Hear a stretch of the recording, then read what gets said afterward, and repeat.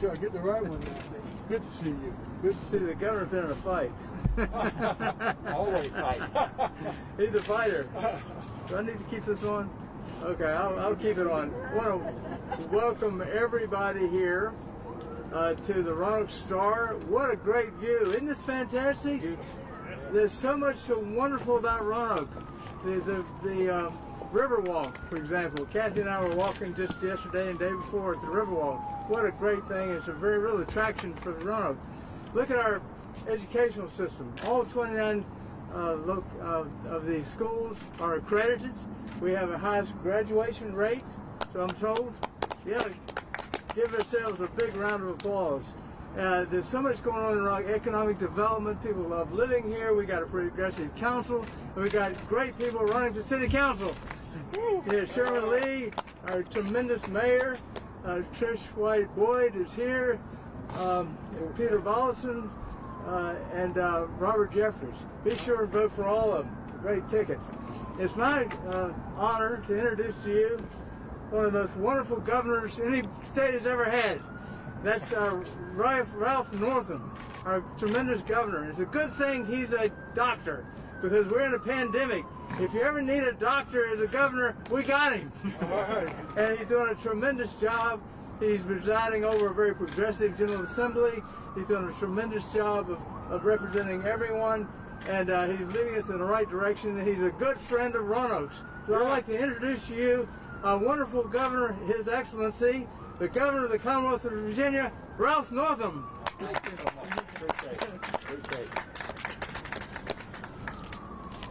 Well, good afternoon. Good afternoon. And I will tell you, it is good to be back in the Star City. And I was telling some folks when I walked in, if, if I didn't know where I was, I think I was in Florida today. You all, is the weather always nice It's been like that this? way during the day. Well, that's good. But anyway, thanks to all of you for, for being here today. I, I tell you, this is a time for leadership, and I couldn't be prouder than to be here today and to endorse my friends that are running on the ticket uh, in, in actually one week. Who who can believe what this election is in one week? But first of all, and we'll we'll talk a little bit more about the accomplishments here from our good mayor. But uh, certainly Sherman Lea deserves a second term uh, as mayor of Roanoke. We certainly want to re-elect Vice Mayor Joe Cobb. He's doing excellent work. Our Councilwoman Trish White Boyd. Trish, thanks so much for all that you do for Roanoke. And two candidates, Peter Volosin and Robert Jeffrey. I, I call them my starting lineup, Mayor. Uh, all five of them. So we got a, a good lineup. But first of all, I'd like to thank Senator Edwards. And we were going to have some other legislators out here today. John, thank you for your leadership. Um, as you all may know, the legislature was in town uh, for a little over six weeks uh, during a special session. A couple things they had on their agenda, very busy agenda. Number one was, was voting reform. And I want to remind everybody that's watching today, this is an important election. We have seven days left. Now, because of their leadership, you can vote 45 days prior to the election. It started on September the 18th with no excuse. They also made Election Day a state holiday, which is a big step in the right direction. Got rid of or eliminated Lee Jackson Day. We don't need that anymore in the Commonwealth of Virginia. And also made Juneteenth an official holiday in the state of Virginia. So, John, thank you for your leadership. And as you know, we've also done a lot of police reform. I signed several pieces of legislation this morning, just landmark legis- legislation that you did. And finally, the budget. Uh, we have one of the most progressive budgets that Virginia has ever seen, and despite COVID-19, we are keeping our priorities in education, especially early childhood education, making sure that individuals can go to community colleges without incurring debt, more counselors in our schools in K through 12. So our legislature really did a, a great job. So let's talk a little bit about leadership and what this man has done for the city of Roanoke. You know, every time I read the paper or turn the TV on, Roanoke is getting another award. And you've had a number of them under your leadership. And just a couple, 2019, All American Hall of Fame City. One of the top 100 places to live. These things, Mayor, they don't happen in a vacuum. And I'm here today as your friend and as your supporter, and also on behalf of Virginia and Roanoke to thank you for all that you've done to Roanoke. Please give Sherman a round of applause again. Let's talk about education. Look at the increased number of individuals that are graduating from your high schools here in Roanoke. Certainly something that is commendable. Business opportunities. You know, the economy is doing well here in Roanoke, thanks in large part to what's going on with Carilion, the Research Center, bringing more talent into Roanoke. Talent attracts talent, so you've got a great recipe for that, uh, Mr. Mayor. We appreciate what you're doing with small women and minority-owned businesses. As we know, they make up 90%, 97% of our economy. So continue the good work helping these businesses get back on their feet. And then finally, equity. One of the things that I love about Roanoke is that Roanoke is innovative, uh, it is diverse, and it is inclusive. We welcome people to the city of Roanoke, and that's what we need to do. It doesn't matter where someone comes from, what country they come from, doesn't matter their religion, who they love. Everybody is welcome in this star city. So I'm here today proud to be with my former fellow senator. We used to be office mates. Uh, but John Edwards, thank you so much for all you've done. Trish, uh, you're going to win this. I, I feel good about it. I'm glad to be here to support you. But please welcome to the podium for the second term as mayor of this great star city, the city of Roanoke, our friend Sherman Lea. Sherman, thank you. Thank you. Yes, sir.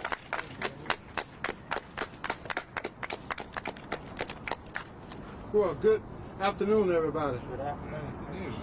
And Governor Northam, it's good to see you You again. well. It's good to see you. And I'm glad you and the First Lady are feeling better We are. Thank so much, and you're in all of our thoughts and prayers. I want to thank you so much for your support and this endorsement. Thank you. I really appreciate this. This means so much to me and my family, Sherman Lea Jr. out there, and all of the citizens of Roanoke. I mean, the governor is just not handing these out. He's here, and I thank him for that and what he's done uh, in this, the Commonwealth of Virginia. And uh, I'm glad that he's here because when he comes by, good things are happening. We know things are happening. So I'm very much pleased with that. And, it's an honor to have him here. And we're proud of our All-American City Awards. I do want to recognize my vice mayor that I mentioned, Joe Cobbs, uh, who's done a tremendous job. And I think Joe is on every committee that we have in the city. But he loves people. He's very engaging and he's committed to making our city uh, what it is. And that's why we're an all-American city because we engage the community. And I want to take this time to thank the governor personally for his leadership with this COVID-19 pandemic that we're going through. And he's there every week and sharing with us the, the good news and the tough news. And that's what leaders are called to do, and I think he's done a tremendous job. And I'd ask that you give him a hand as we go through this. We go through this. And I want to thank our senator here, great senator, uh, for us. And uh, Governor, I just want to say that we have a good working relationship with our legislature. Uh, they do a good job, and we're proud of what they do. And uh, so we're going to go through this, and I'm proud, as the governor alluded to, our schools, all of our schools, 24 schools and about four programs, all of them are accredited. Uh, our police department is accredited. Our fire and EMS departments are accredited. Our sheriff's department is accredited. So we're really a solid city here that's doing great things, and I was just I was proud that we won the All-American Award seven times uh, in six, 17, 18, and we were a finalist this year for that award, and that takes some work. So I'm really proud of what we're doing, and I just want to let you know that uh, we have a great city, and we're going to get even better. As the governor alluded to, Carilion, the Carilion and Virginia Tech partnerships medical school, and we look forward to. We're going to be the the John Hopkins of the East Coast before long. We're thinking about that. We're heading in that direction, and that's so much. That's a shot in the arm for our economy and the things that we're doing, and the great people in our city, and the leadership we have with uh, Nancy Agee and Dr. Sands up at Virginia Tech. They're at our beck and call, and uh, really able to help us. So, and I'm proud of my colleagues on City Council and how we deal with equity. We have an equity and empowerment advisory board that we're putting together. And I also want to announce that this council selected the first Hispanic council member in the history of this city. Vivian Sanchez Jones will take her seat officially next Monday here in the city. So we're proud of what Vivian is bringing to the, the city and what she's doing. And that's what we want to do to inspire all our citizens. We're an inclusive city and we want all of them, all the citizens to know that you're welcome to be a part of it. So thank you all for coming out. Thank you for being here. And I'm proud to say I'm the mayor of a great city, the mayor of Roanoke, Virginia. And I ask you to go out and vote. Leave for mayor on November 3rd. And uh, I'm counting the days down. Seven days, less than seven days. I'm counting the hours. So we got to do it, and uh, we look forward to doing it. And I want to thank Joan Washburn for her work throughout this. Joan is is missed.